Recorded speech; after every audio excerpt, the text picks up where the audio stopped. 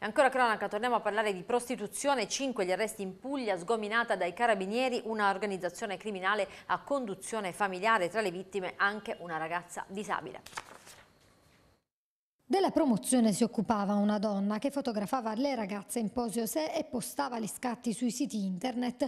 Il resto dell'organizzazione era in capo a due fratelli e ad altri due sodali di Corato, Modugno e Terlizzi che decidevano i turni di lavoro delle ragazze dalle 9 alle 20 anche di domenica. Le accompagnavano nei controlli sanitari, gestivano gli appuntamenti. I carabinieri di Trani e Ruvo, coordinati dalla Procura di Trani, hanno sgominato un'organizzazione criminale dedita al favoreggiamento sfruttamento della prostituzione. Cinque le persone arrestate, una banda guidata da Leonardo Castelli, trentenne di Corato, aiutato dal fratello Paolo e dalla cognata.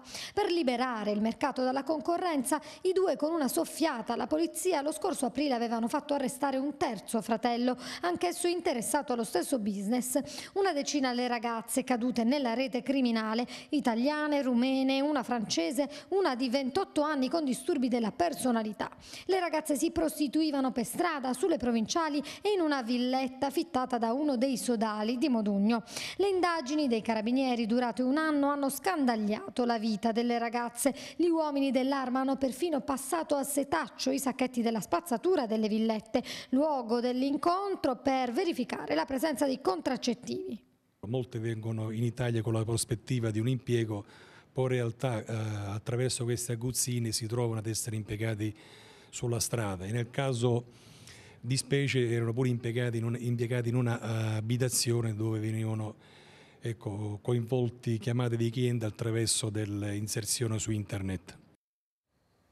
Cambiamo argomento, è stata pubblicata la graduatoria definitiva degli aventi diritto alla social card, molto tempo è stato impiegato per effettuare le operazioni di verifica dei circa 120 ricorsi presentati, 80 dei quali sono stati ammessi. Dal mese di settembre, ha commentato l'assessora al welfare del comune di Bari, Francesca Bottalico, per un anno 400 cittadini baresi riceveranno un contributo economico compreso tra 180 e 381 euro che rappresenta un'ulteriore forma di sostegno rivolta alle persone in difficoltà che nella nostra città possono già contare su prezioso lavoro lavoro svolto dalla rete di associazioni di volontariato e privati cittadini disponibili a supportare le iniziative in favore delle fasce più deboli della popolazione. Tutte le informazioni sono disponibili sul sito del Comune di Bari.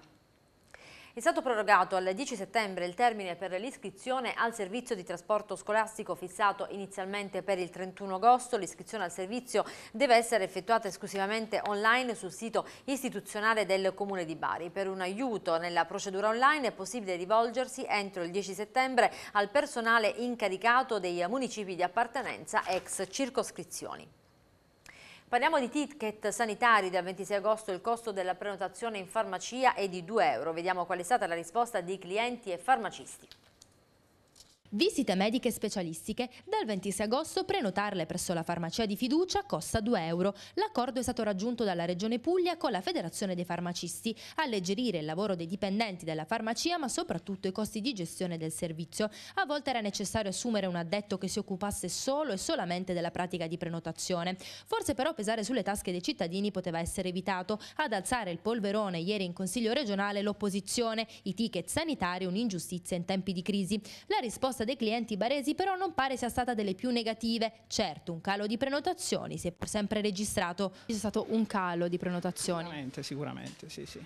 Qualcuno prima del, della data, ma poi in realtà c'è stato un deciso calo. È stata abbastanza presa bene, nonostante si pensava ad una sorta di guerriglia. In questa zona, almeno qui in farmacia, non c'è stato nessuno che si è lamentato. Eh, non c'è stato un granché di cambiamento, diciamo che più o meno le prenotazioni sono rimaste, il numero di prenotazioni è rimasto inalterato, pressoché inalterato rispetto a prima, insomma. È una necessità, spesso e volentieri gli anziani non riescono a recarsi comunque personalmente al CUP, magari del policlinico, o lunghe attese telefoniche, quindi è comunque una comodità e pertanto rimane pressoché inalterata. Le prenotazioni potranno essere comunque effettuate gratuitamente presso il CUP dell'ASL Barese o telefonicamente al numero verde. Ma qual è la risposta dei farmacisti baresi? Naturalmente è un peso a carico del cittadino, però è una cosa che noi non riusciamo più a fare gratis, insomma, perché poi abbiamo dei costi, il personale che se ne deve occupare. Riusciamo a eh, gestirla meglio in modo tale che anche insomma, eh, definendo un po' la fascia oraria di prenotazione riusciamo a ad organizzarci un po' meglio senza stare appunto fissi. Sono, sì, sono, sono d'accordo perché era diventato un servizio abbastanza invadente per noi farmacisti che comunque dobbiamo svolgere un lavoro al banco e sicuramente potrebbe eh, anche essere eh, modificato. Cioè a questo punto ho letto anche de, di alcune proposte di eh, pagare il ticket direttamente qui. Avrebbe anche ancora, ancora più, più senso. Arriva Godot, nuove proposte per accrescere il mondo della cultura e del turismo. Al via oggi i lavori della prima conferenza generale delle culture e del turismo organizzata dal Comune di Bari. C'era per noi Barbara Cirillo.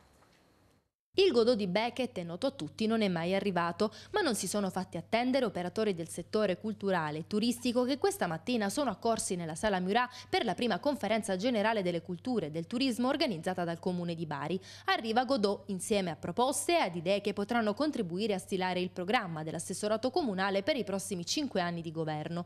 Tutti a raccolta per parlare, discutere, ma soprattutto per ascoltare. Sette minuti a disposizione per ciascuno. Ad aprire le danze il sindaco Antonio De De Caro, seguito dagli assessori regionali Silvia Godelli e Angela Barbanente. A darsi appuntamento anche moltissimi rappresentanti della cultura barese, dal teatro alla danza, dal cinema al mondo musicale. È così che il metodo partecipato adottato dalla nuova giunta comunale investe anche il mondo della cultura e del turismo, due realtà che hanno fatto sì che la Puglia sia ad oggi uno dei pochi paesi europei ad aver conosciuto una crescita. Domani si concluderanno i lavori di questa prima conferenza. Le conclusioni saranno affidate all'assessore alla cultura del comune di Bari Silvio Maselli che si prepara ad affrontare i tanti appuntamenti già segnati sull'agenda. I prossimi obiettivi sono diversi, certamente quello di preparare la stagione invernale, in particolare pensando al Natale e al Capodanno e poi quello di consentire agli operatori di programmare triennalmente, di avere diciamo, all'inizio dell'anno certezza delle risorse e dei programmi e poi quello di orientarli, di non lasciare più che l'assessorato alla cultura sia una specie di slot machine dove inserisci un gettone e ottieni denaro, ma che sia un assessorato che eh, diffonde un'idea e su quella invita tutti ad attenersi dentro linee guida. Torna anche quest'anno Lector in Fabula, il Festival di Conversano giunto alla decima edizione. Quattro giorni dall'11 al 14 settembre di incontri, dibattiti e approfondimenti con i protagonisti del mondo culturale e politico. Il tema scelto per quest'anno è privato, pubblico e comune. Ricco il format del festival organizzato dalla Fondazione Giuseppe Di Vagno. Il programma sul sito www.lectorinfabula.eu. Passiamo alle previsioni del tempo per le prossime ore. Cielo nuvoloso, temperature comprese tra 16 e 26 gradi, venti moderati, mari poco mossi. Come sempre vi ricordo i nostri indirizzi internet www.telebari.it e radiobari.net l'indirizzo di posta a voi dedicato infochiocciola il segno di zorro.it. Per questa edizione è tutto, grazie per averci seguito e appuntamento più tardi.